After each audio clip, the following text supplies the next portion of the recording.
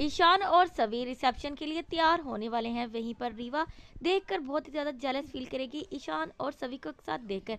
Channel पर नहीं है चैनल को सब्सक्राइब करें वीडियो को लाइक कर दें और बेल आइकन को ज़रूर प्रेस कर दें ताकि हमारी आने वाली हर एक वीडियो आप तक पहुँच सके। तो अब यहाँ पर देखना काफ़ी ज़्यादा इंटरेस्टिंग होने वाला है, जब ईशान और सभी एक साथ रेडी होकर एक दूसरे की तारीफ़ कर रहे होंगे तो यहाँ पर रीवा ये सब कुछ सुन लेने वाली है तो रीवा को बहुत ज़्यादा गुस्सा आएगा और वो जेलस फील करने वाली है, वो बोलेगी काश इस सभी की जगह मैं ईशान के साथ होती। अब यहाँ पर अक्का साहब और दुर्वा भी बहुत ही ज़्यादा गुस्सा करने वाली हैं सभी पर।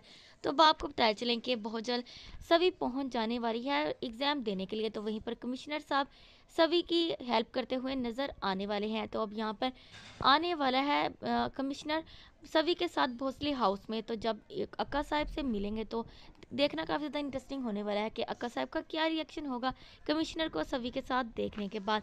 और दूसरी तरफ़ बताते चलें कि कमिश्नर साफ़ फटकार लगाते हुए नज़र आने वाले हैं ईशान को कि आइंदा के बाद अगर तुमने मेरी सभी का कुछ भी कहा तो तुम मुझसे बुरा कोई नहीं होगा। Thanks for